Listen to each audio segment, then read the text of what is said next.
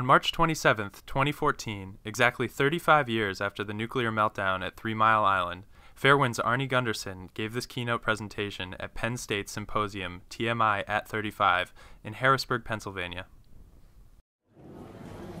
Arnie is the chief engineer at Fairewinds Energy Education. Since 2008, Fairewinds has been a nuclear safety advocate, working for safer nuclear plants better government regulation, and proper oversight. Arnie has more than 40 years of nuclear power engineering experience. He attended Rensselaer Polytech Institute, where he earned his bachelor's degree cum laude, while also becoming the recipient of a prestigious Atomic Energy Commission fellowship for his master's degree in nuclear engineering. Arnie holds a nuclear safety patent with a licensed reactor operator and is a former nuclear industry senior vice president. During his nuclear power industry career, Arnie also managed and coordinated projects at, at 70 nuclear power plants in the United States. Additionally, Arnie has served as an expert witness for the investigation of the Three Mile Island accident. He also provides leading and extensive commentary on the ongoing Fukushima nuclear disaster and a variety of news media outlets such as Democracy Now!, CNN, Al Jazeera, and The Real News. On a personal note, my own dissertation research on Fukushima brought me to the work of Arnie several years ago. His public commentary and breadth of knowledge on this global catastrophe is unsurpassed. Please welcome Arnie Gundersen.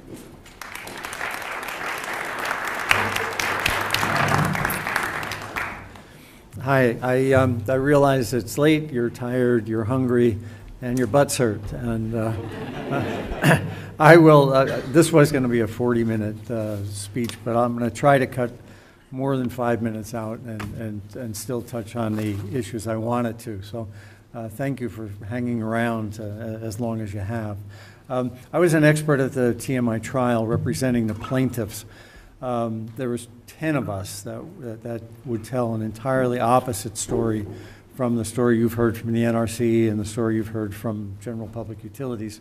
And so I sort of feel like I'm representing those 10 people and the, the 2,000 plaintiffs in the, in the TMI case as well. Um, so anyway, thank you for, um, uh, for being here. Um, there, there's many lessons uh, that could be learned and should be learned, not just from TMI, but from the other five, the five meltdowns that occurred in the last 35 years.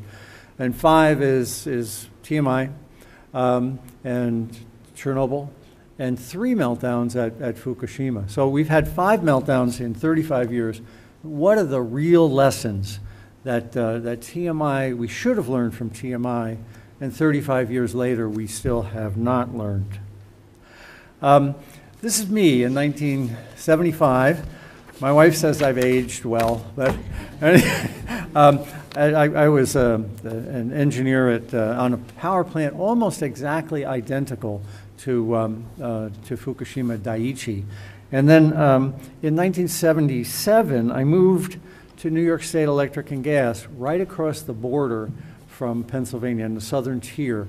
And um, I was there when the accident occurred at, uh, at Three Mile Island.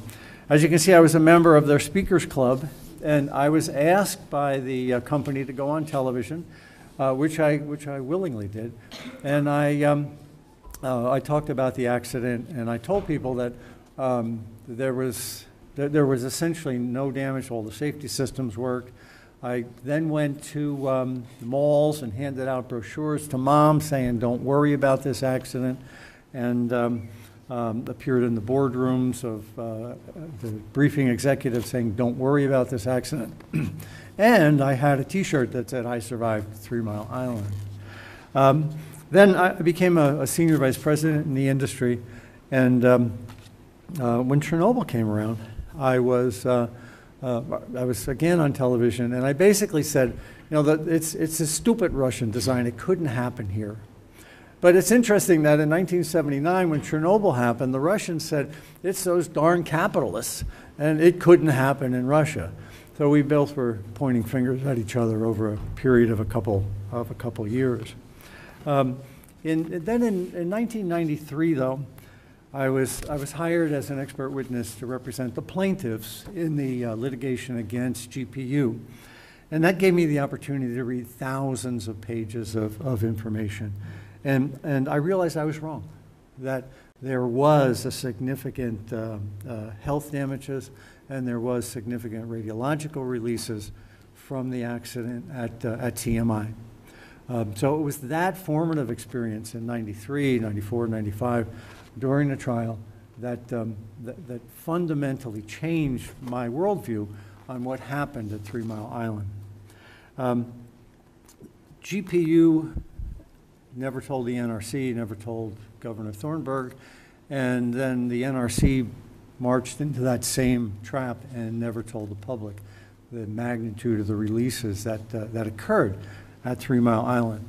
We found that out, the 10 of us, those, the, that group of experts, found out how bad things really were. And uh, you know, unfortunately, we never got to trial. Um, Fairewinds, by the way, is, um, a company started by my wife Maggie. Um, we're a 501c3, and we, um, we work on uh, safety issues and trying to get those safety issues out to the public in great detail. On the 30th anniversary, I spoke in Harrisburg, and uh, on our website, on the Fairewinds website, we have the, um, the tape of that presentation which goes into lots of technical detail, 40 minutes of technical detail on this accident. So if you're interested in the raw technical detail on this accident, I'd urge you to take a look at the Fairewind site. Now, when you're on the Fairewind site and you listen to this thing, there's funny music in the background for the first 10 minutes. We did it in a conference room right off the rotunda, and there was a marching band in the rotunda. So people have said, What is that music? And we can't take it out. So you'll have, uh, but the presentation is audible, but there's a, a, little bit of background noise. Anyway, I came to the conclusion as an expert on the trial that at 7 o'clock in the morning on the first day of the accident, an evacuation should have been ordered because radiological releases had already begun to occur. The radiation inside the containment was so high that the written procedures that, that TMI had in its possession required an emergency evacuation at 7 in the morning. Those emergency evacuation orders were ignored. Well, then, three years ago, when, um, when Fukushima Daiichi occurred, I was watching and I could see the same lies being, being presented to the Japanese people that we had um, with TMI and that the Russians had after Chernobyl. And so three years ago, I dedicated myself and I said, I am not going to let this happen to the, to the, uh, to the Japanese. I saw it happen here. I know the games that will be played. And I've dedicated my life to making sure that Daiichi isn't covered up like TMI and, and, and uh, Chernobyl. So anyway, the, the concept of an accident I have a real problem with. Uh, this is from the Diet Commission. Um, the, the Diet is the Japanese parliament. They issued a, a, a report on their accident. Um, it says the accident at Fukushima Daiichi cannot be regarded as a natural disaster. It was a profoundly man made disaster that could have and should have been foreseen and prevented, and its effects could have been mitigated by a more effective human response. That same statement could be made about TMI and about Chernobyl. So looking back over the, over the 35 years of accidents, I, I kind of narrowed down to five basic areas that lessons we should have learned and, and haven't. The first is that safety systems will fail. The second is that human beings will fail. The third is that political systems will fail. And if any emergency planners still left, the political systems are in the middle of this speech, so please stay. um, the fourth is that people will die. And the fifth is that the risk has been grossly underestimated for nuclear power. Well, let's look at the first one. Lesson one safety systems will fail. Um, there's four parts of that, and the first one is this thing called single failure criteria. And what that means is that in a nuclear plant, when something breaks, a pipe breaks, you also have to assume that something else is going to break too. And that other thing that breaks is a single failure. So the nuclear plant has to be capable of not just withstanding the pipe break, but also has to be capable of withstanding the other single failure. And that's like cardinal law for nuclear power, single failure criteria. But these five disasters have shown us that one component, that more than one component will fail during a nuclear catastrophe. Several safety systems and several operating components failed at each of these accidents. So the concept of single failure criteria will lead to more accidents in the future. We really, moving forward, if you're going to pursue a nuclear alternative, you have to have systems that can withstand multiple component failures. And um, Greg Jaczko has said the same thing. Uh, the public will not accept a meltdown every seven years. And in order to avoid that, this concept of single failure criteria has to be off the table. And we have to rethink our approach moving forward. Uh, the second one is that instruments will fail. Um, during each of the major catastrophes, the operators relied on instruments that were erroneous. At TMI and Fukushima Daiichi, for example, the instruments that they relied on for water level told the operators that there was a lot of water in the nuclear reactor when in fact there was none. And it was interesting. Someone else put a slide up here earlier about, well, there's a lot of radiation in the reactor, in, in the containment, but we think it's erroneous. Did you see that slide? And it was interesting because as I was an expert, every reading that was true and really bad, they thought of was erroneous. Every reading that was erroneous but really good, they relied upon. And that's a trend that I always see in emergency response. Operators want to believe the instruments that lead them to the conclusion they want to get to. In addition to the, those instruments, every radiation detector was destroyed in all five of these accidents. So when we talk about the releases from Fukushima or the releases from TMI, we have no clue what was released. It's a scientific guess. The, um, the third thing is that hydrogen will explode. This is a, uh, the pressure inside the containment at Three Mile Island on the first day of the accident. This is a TMI graph from the trial. Um, the, you know, the unique thing is that thing right in the middle, that pressure spike, that's a hydrogen explosion. It happened on the Wednesday of the accident, on the 28th, at around between 1 and 2 o'clock in, in the afternoon. Hydrogen will explode. There was an explosion at TMI. Now, related to that is the next one is that containments will fail.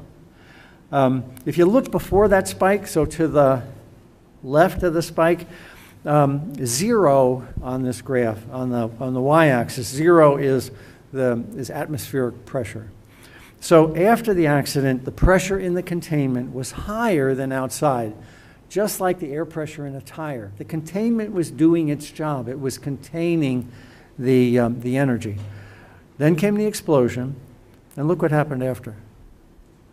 The containment began to leak. There's no doubt, uh, we had one of our experts was a Dr. Reitblatt from University of Bridgeport, um, and he showed quite clearly that uh, the containment failed and about 10% of the radiation inside escaped at 2 o'clock in the afternoon. Now, uh, Okay. So that was a lesson. This is TMI. This is Fukushima Daiichi. Um, unit 1 is on the left and has already been destroyed. Unit 2, Unit 3, Unit 4. Watch the one in the middle.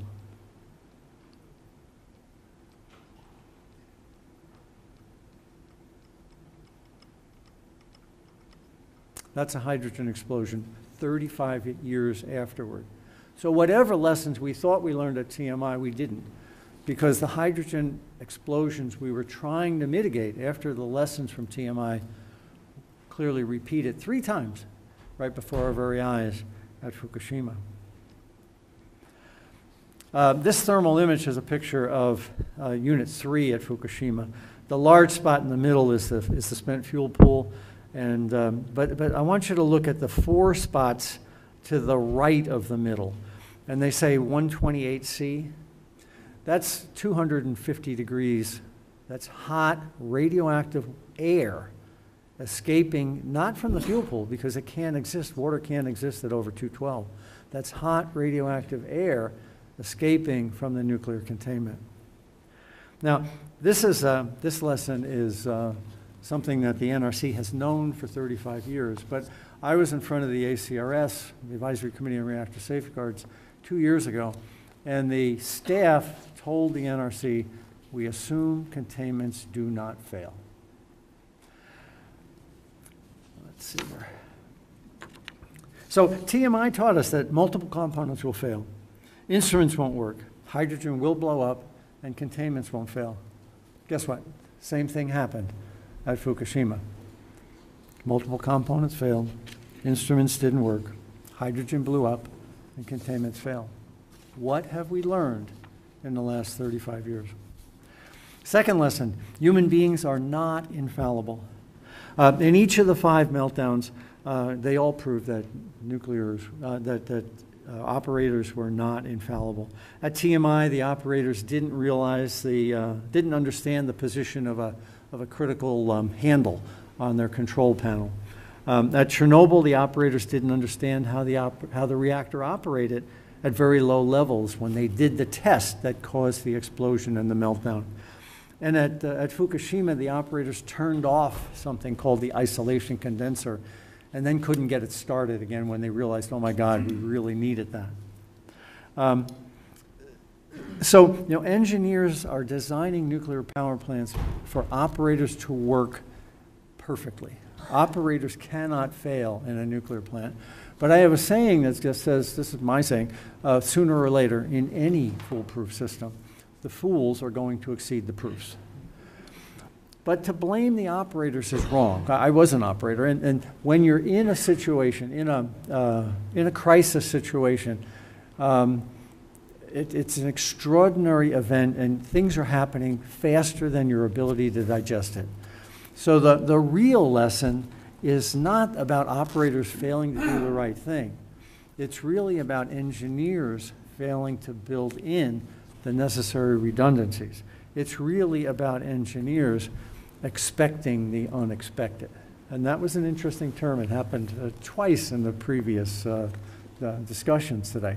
So, as designers and engineers, we have not expected the unexpected as we build these new nuclear plants and, as we run these aging nuclear plants moving forward.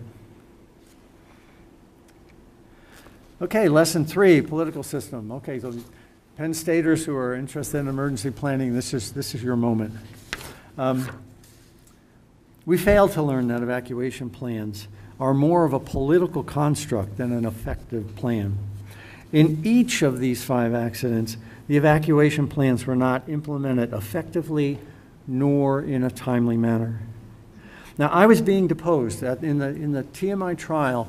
Um, I was being deposed, and in deposition, uh, this uh, and my position was that at 7 or 7.30 in the morning on the first day of the accident, there should have been an evacuation. All of the criteria in their procedures were fulfilled that they should have evacuated between 7 and 7.30.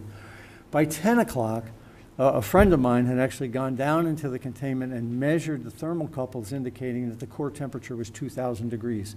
There should have been an evacuation. And at 1 o'clock, they had an explosion the plant manager was in the control room when the building shook. And four reactor operators signed affidavits that he knew there was a hydrogen explosion.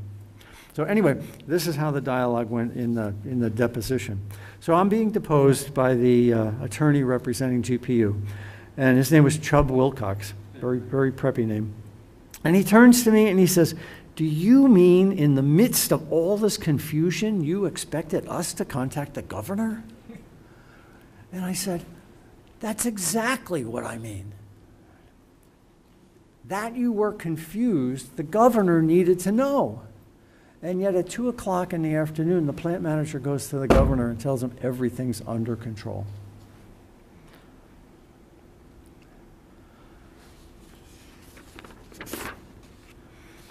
So uh, it's clear to me that the plant staff understood the severity of the accident. um, before um, the governor had the slightest clue. Um, I got this, we, Maggie and I got this letter uh, sent to us in an email from a, a woman who was in 10th grade at Middletown High School on the morning of the accident. And here's what she had to say, and I apologize, it's kind of long, but it's awfully important. Um, so this is a 10th grade girl, Middletown High School, day of the accident. Our chemistry teacher had taught the whole, the whole semester on nuclear power and waste storage. And so he had run a Geiger counter out the window for the entire semester. The morning of the accident, my chem teacher started, my chem class started at 10. As we entered the classroom, the Geiger counter went from haywire, from a normal clicking to a solid buzz. He immediately picked up the phone and called the governor, called the Governor Thornburgh's office and reported the readings. The response was, We know. Don't do anything about it. By 11 a.m., parents were coming to the school and pulling out their children. Of course, many people in town worked at the plant or had relatives who did, and they did not wait for a formal evacuation call. Kind of sad. In Russia, the authorities didn't notify anyone for, 10, for two days after the massive fire and explosion. And the Japanese, who are the best emergency planners in the world, they really know that earthquakes happen. The Japanese, the best emergency planners in the world, waited way too long to evacuate Fukushima Daiichi. When they did, they evacuated people into the high radiation areas, which is exactly what the emergency plans at TMI would have done. If people had evacuated, they would have been driven into the plume as opposed to being driven away from the plume if they followed the emergency plans. So the example in Japan is, uh, is illustrative of the magnitude of the problem. When policymakers rely on nuclear industry experts and industry regulators as the crisis unfolds. Several months ago, I had a, a long private talk with, with Prime Minister Kan who's read my book, by the way, and he had me sign it. That was really kind of, kind of flattering. Um, and uh, I told him uh, I tried to put myself in his shoes in the days immediately after the accident, being forced to rely on the small amount of information being released by Tokyo Electric and by METI, which is the Ministry of Economy and Trade and Industry. And I'll never forget what he said. The Kan says to me, the information I got was neither timely nor accurate. That could have been Governor Thornburgh on the first day of the accident. GPU didn't tell him that their high radiation in the containment, didn't tell him that they had measured uh, 2,000 degree temperatures in the reactor core, didn't tell him about the, um, the explosion. So uh, he did not receive information that was timely or accurate in a policymaking role. The NRC itself didn't know about the hydrogen explosion until two days later. So after 35 years of meltdowns, we haven't learned that corporations will do its best for them and their stockholders rather than tell the public and regulators the truth during a disaster. The unlearned lesson from these tragedies is that evacuation plans will not work correctly because people are terrified and that nuclear owners, regulatory agencies, and governments will refuse to tell the truth. Today, it's most likely that most evacuation plans will fail during a nuclear crisis. Critical infrastructure will be destroyed, including things like electricity, emergency sirens, traffic lights, um, which every emergency plan relies on for an evacuation. Here in the U.S., we only need look at Hurricane Sandy, and Hurricane Andrew to see how critical infrastructure near a nuclear plant was totally destroyed. It's kind of hard to evacuate when your neighbor's house is floating down the street in front of you. Emergency planning isn't the only political failure. The governments of Japan, Russia, and the United States all grossly underestimated the amount of radiation that was released during the nuclear accident. Each believed they were preventing panic by not informing people of the magnitude of these tragedies. How many times have you heard there's no imminent danger? Only five days after the Fukushima Daiichi accident, when three reactors had already blown up on television, Secret, Department of Energy Secretary Chu was on CNN. I was an expert on CNN too. Chu was on, and then I was on after him. Anyway, he was on Chu. Uh, Chu was on CNN, and he said that the accident at TMI, at Fukushima, was a Category Five, the same as as TMI. And um, then I came on, and they said, "Well, what do you think of that?" And I said, "I didn't say it, but he's full of it." Um, I said, no, I'm sorry, this is as bad as Chernobyl now and might get worse. So I said, this is already a level seven. Now, Scott has proposed a, a level eight, which is uh, actually probably what this accident could have become if the fuel pool had caught fire. They don't have a level eight. Um, so um, here's Chu saying, witnessing th- three nuclear reactors blow up on television, telling us it's no bad, no more, no worse than, than TMI. And it was obvious to every nuclear engineer I knew that we had, we had a Chernobyl on our hands. Um, and if you read the U.S. government transcripts, the NRC transcripts of the day of the, uh, of, they were published um, a year after the accident, but uh, that were occurring as all of this was going on. The NRC knew how bad this was and was as terrified as I was. But they didn't tell Congress and they didn't tell the truth to the public either. So operators at nuclear reactors are under extraordinary management pressure to keep the reactors running. They can make as much as a million dollars a day if the reactor operates. So this came from my expert report on TMI. I, the plant manager had a tape recorder running in his office when he called General Public Utilities, the owner of the nuclear reactor, and they were in Parsippany, New Jersey. So they're 150 miles away from, from TMI. He taped the call at 7:30 in the morning. Well, the phone transcript made it clear that he, the plant manager knew how severe the accident was and wanted to, to begin an evacuation. But his bosses in Parsippany overrode him and basically made him knuckle under. Again, that's in my, my expert report that never made it to trial. Okay. Um, a similar situation developed in Japan.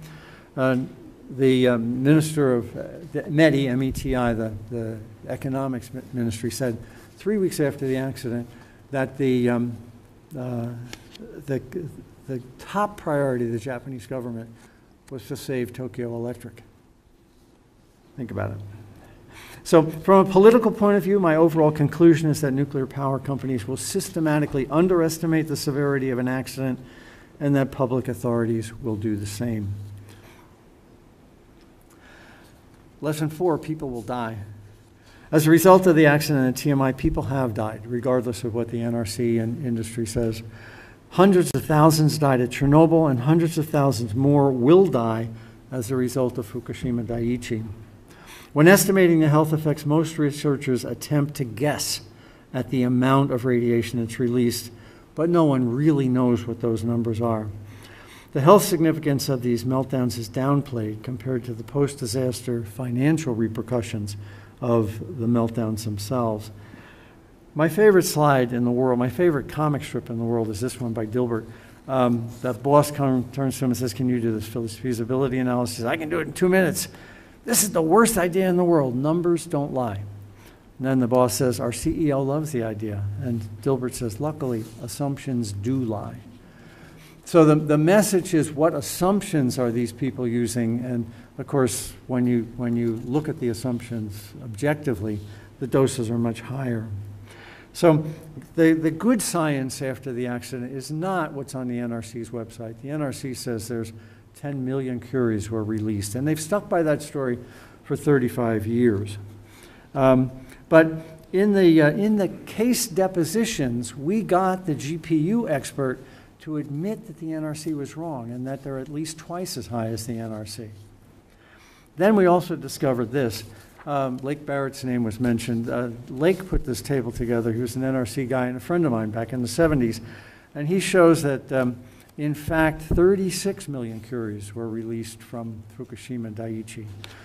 Then in his report, he divides that by four, which is nine plus, and they averaged it up to 10. So the bases for the NRC's number is Lake Barrett's estimate cut by four. And of course, Lake Barrett is now doing the same thing at, at um, Fukushima. He's their point man, telling people, you know, don't worry, be happy. Um, the, the real good science here was done by a guy named Steve Wing. Um, Steve analyzed the Susquehanna data, uh, the, the, county data, and the state data. Um, and he shows that um, there's much higher incidence of cancer up and down the river as compared to the valleys. Now, why is that? Well, there was another expert in the trial, a guy named Ignaz Vergeiner, Dr. Vergeiner, who showed that during the accident there was a temperature inversion, a very severe temperature inversion. The air was flat, so that the radiation releases didn't go anywhere. They ran up and down the river valley. They were trapped in the river valley. So Vergeiner's meteorology matches Wing's epidemiology, and they both match what I believe came out of the plant. Now I got to get back to that pressure spike again. The pressure spike shows that 10% of the radiation in the containment was released. But in the trial, GPU said in the containment was something between a billion and two billion curies. 10% of that is 100 million curies, 10 times what the NRC estimated. That's the good science.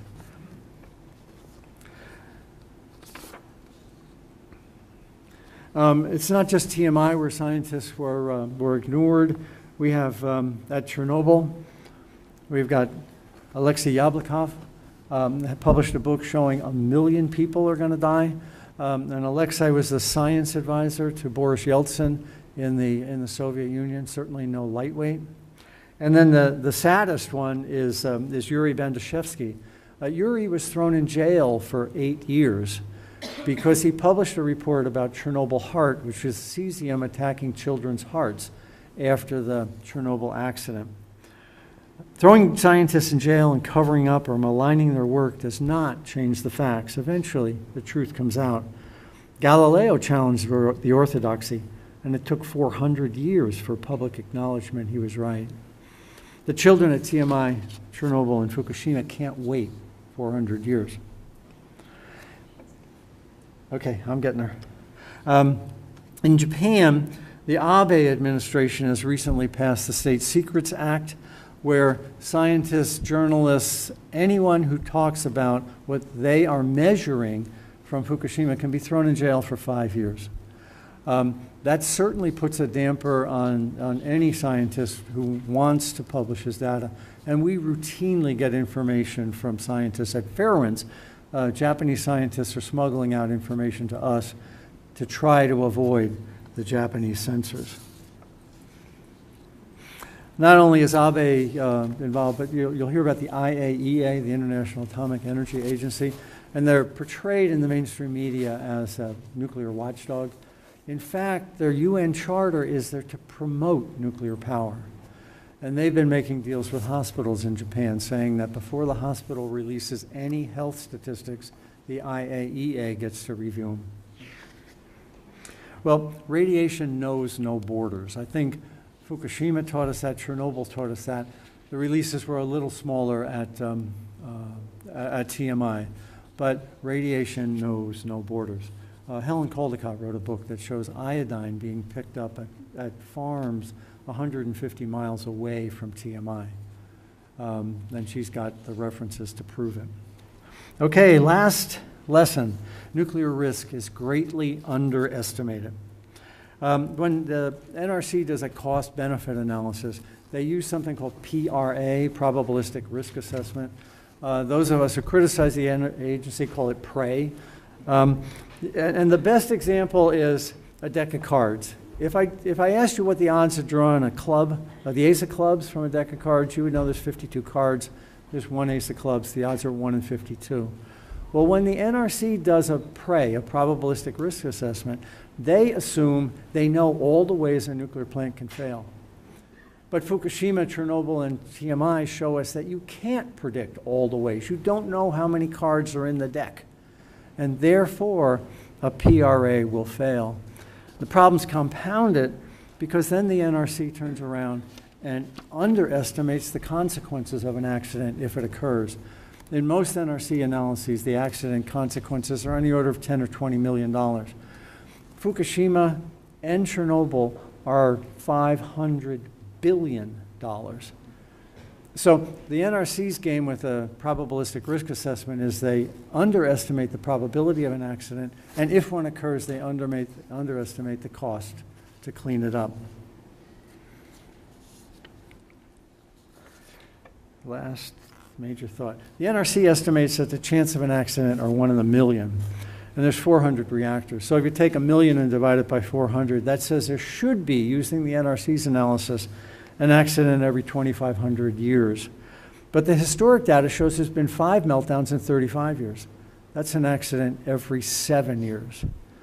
So if you're a policymaker and you're in your sane mind and you knew that the chance of a nuclear accident was one every seven years, would you build a nuclear power plant? The answer is no. But our policymakers, our politicians and policymakers, are heavily influenced by the nuclear industry, which, um, which convinces them that this 25,000, 2,500 year probability is the real number. So our, our decision makers are being influenced not by real data. I mean, history says 35 divided by 5 is 7. Instead, they'll buy what the policymakers say, which is a, a, essentially a nuclear accident between the time Jesus was born and now there would have been one nuclear plant. I mean, that's, that's a long time. And that is the basis for political uh, decisions. Um, I think I'll skip that. Okay. There's one other piece, and that's that forget the money. Let's take the money off the table. This is a technology that can destroy the fabric of a country overnight. Gorbachev, in his memoirs, has said that uh, nuclear power is what, the, the, accident at Chernobyl is what destroyed the Soviet Union, not perestroika. And in my conversations with Kan, he, he absolutely agreed that the, um, the fabric of Japan was torn, not completely yet, yet, um, by the accident at Fukushima Daiichi. And yet we've got Indian Point 26 miles from, um, from New York City. What would that do to the fabric of America if there was an accident? This is a technology that can destroy a culture overnight. Okay, conclusion is that um, uh, former Premier Gorbachev, former Prime Minister Kan, two other Japanese uh, prime ministers, Germany's President, Chairman uh, Merkel, and the former chairman of the NRC, uh, Greg Jaczko, all agree that nuclear technology is something that was okay in the 20th century, but moving forward, there are better alternatives for. And it's interesting because Gorbachev's a communist, Kan is what we would call a Democrat. The other two guys are what we would call Republican, and um, then Merkel was very conservative. And yet, across that broad political spectrum, they've come to the conclusion that moving forward, we should not build any new plants and we should phase out the ones we got. So, this isn't Arnie Gundersen up here. There's a, a consensus building among world leaders that whatever we did in the 20th century was okay for the 20th century, but we don't have to repeat it in the 21st century. There are better alternatives moving forward. Um, renewables are doable, and I'd urge you to look at Amory Lovins' site and Arjun Makhijani's site to understand that by 2050 we can wean ourselves from this type of, of energy system and, um, and completely change to a distributed energy system which doesn't need these huge nuclear power plants. Um, one shout out, and then I'll, I'll, I'll shut up here. Um, there was somebody who saw this with great clarity in 1980 and, and his name was Henry Myers, Dr. Henry Myers. Henry worked for Mo Udall, and he was a science advisor.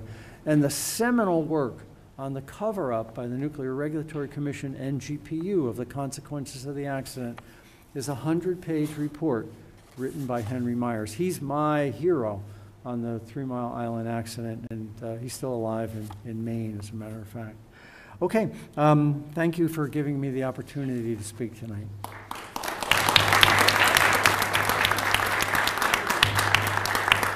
Thank you, Arnie. Questions for Arnie Gundersen? Any questions? Holly? You made a very big switch from being um, sort of dedicating your life to, to nuclear energy to you know, dedicating your life to, to phase out. Was there any, I, I, mean, you talked a little bit about going through the data, but was there, was there an aha moment in your life? Um, well, it was more like getting hit on the head by a two by four. um, I was a senior vice president in 1990. We were a nuclear licensee. I found violations in the license. I told the president of the company, and he fired me. I went to the Nuclear Regulatory Commission. The Nuclear Regulatory Commission deliberately botched the audit and was taking bribes. Um, I went to John Glenn. John Glenn opened a congressional hearing and um, actually fired up the inspector general. And the inspector general found that the NRC had deliberately botched the inspection and was taking bribes. And so I was exonerated in congressional testimony. Um, my wife and I were sued for one and a half million dollars. We were driven into bankruptcy, foreclosure, lost the house, lost everything.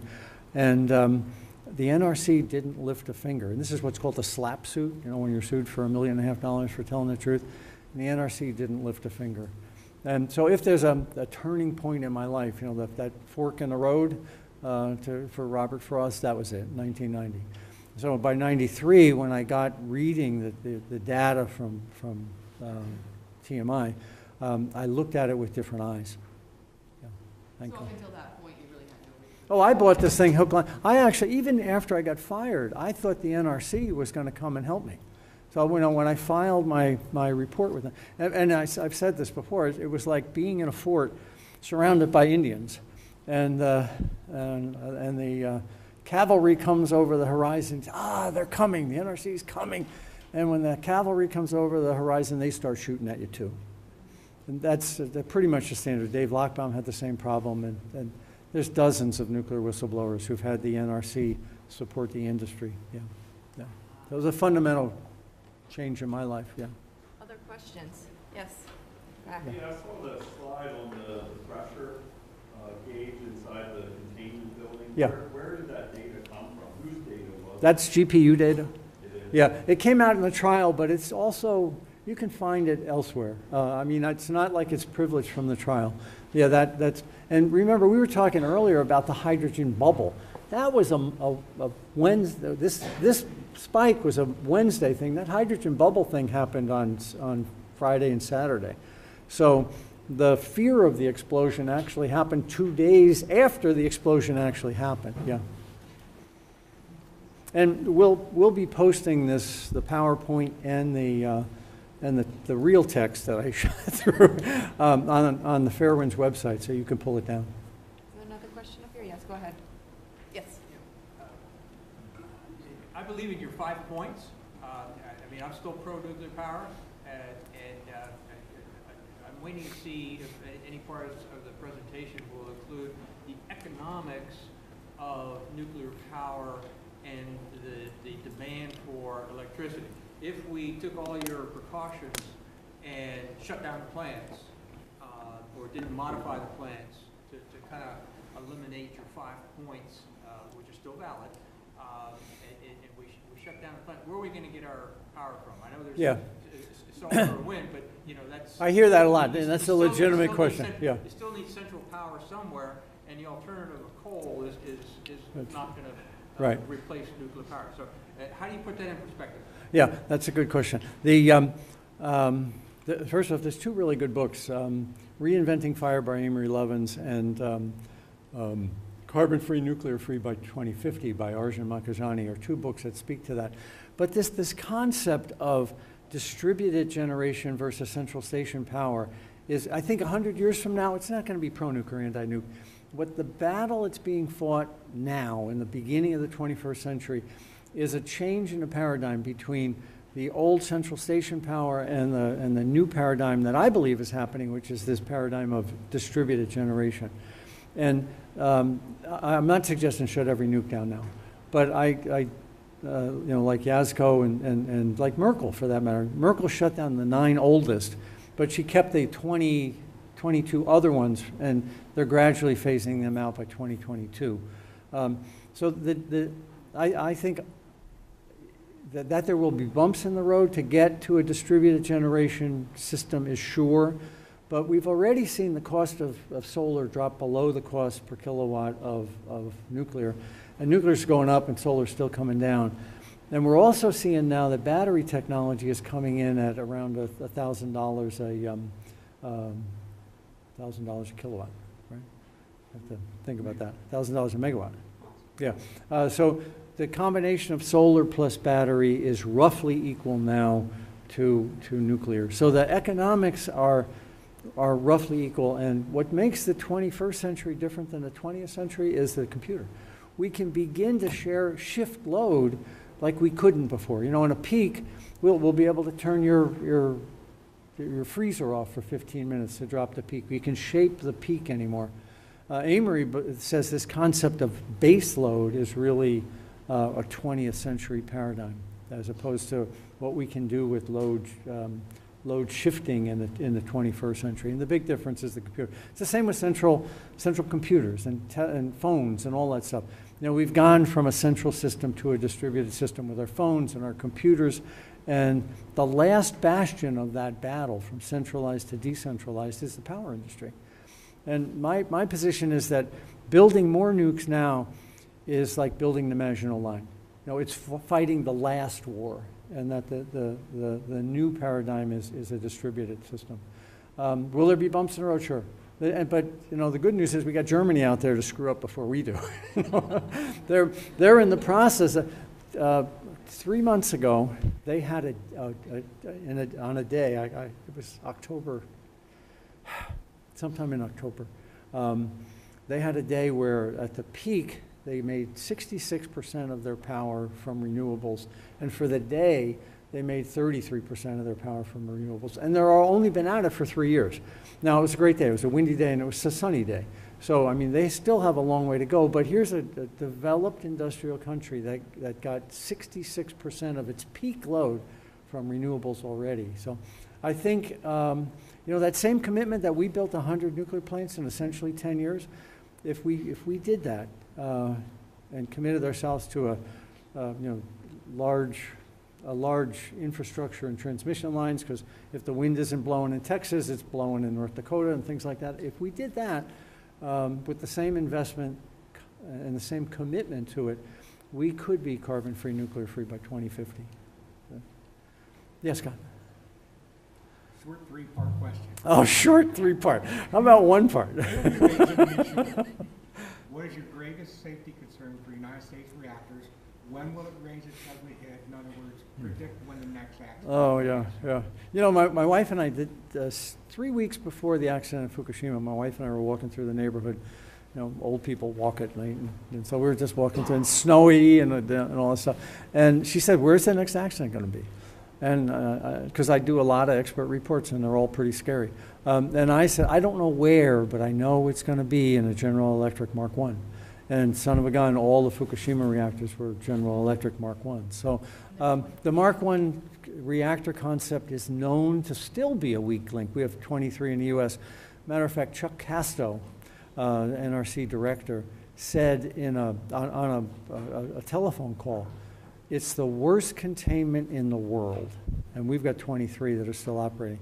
So that concerns me. The other one are the Westinghouse ice containments, um, which are really hokey. Um, uh, they rely on all sorts of buckets of ice, and the steam is supposed to go up through them. I think I'm more worried about the Westinghouse ice containments than I am about the Mark Ones at this point. Any prediction for timing? No, I don't, I don't even want to go there. last time I did that one happened in three weeks. No, no, no, I don't want to do that again. Yeah, Paul. Yeah, yeah, yeah. The- I think we have probably time for one more question. I know that your hand was up. Um, Well, Arnie, I just wanted to uh, ask uh, you a question about accountability of the nuclear industry and preface it with a short statement that um, following the uh, Fukushima, well, actually leading up to Fukushima, according to the United Nations um, Scientific Committee on the Effects of Atomic Radiation, that uh, the standard for evacuation is one millisievert per year. If you get above that, if you're exposed to that, they're supposed to move you. Yeah. Following the Fukushima accident, the Japanese government raised the standard to 20 millisieverts per year. You spoke about the fact that you could not take your case to trial. Uh, we see, um, you know, hundreds of thousands of Japanese now living in contaminated uh, lands where they should have been evacuated. Yeah. But so, how is the industry immune not only to, to uh, accountability, but even to the standards according to the United Nations now? Yeah, the, um, you know, we've got a system where we capitalize the benefits and we socialize the risk. with, with nuclear. And, you know, in the US, it's Price Anderson. If there's a big accident, we all pay, as opposed to that, you know, when, when, at least when the Gulf oil spill, BP's still on the hook. Whereas if there was a comparable magnitude accident, nuclear, uh, the, the owner of that, that reactor would be off the hook and the taxpayers would be paying. So, yeah, we've got a system where we capitalize the profit and, and socialize the risk. The, the, but the issue of dose is, is truly frightening, and, and that's really IAEA pressure is coming in on that. The Japanese, what's a 20-fold? They 20-fold increase of what was allowable, but, but before the accident, you shouldn't move back into an emergency zone um, if it was more than 100 millirem above background. And the Japanese changed that to be 2,000 millirem, just kind of unilaterally. They changed the, the, the criteria. Um, and Japan is um, um, really being driven by the banks. I had a discussion on that that I skipped. What ha- what's happened is they shut 50 nukes down, and um, they've had them shut down for three years. Where's the money coming to keep the staff and the plants there? The banks are loaning money into these large nuclear utilities, and they want their money back. And there's enormous pressure on the diet to start these plants back up so the banks can get their money. Let's eat. Thank you.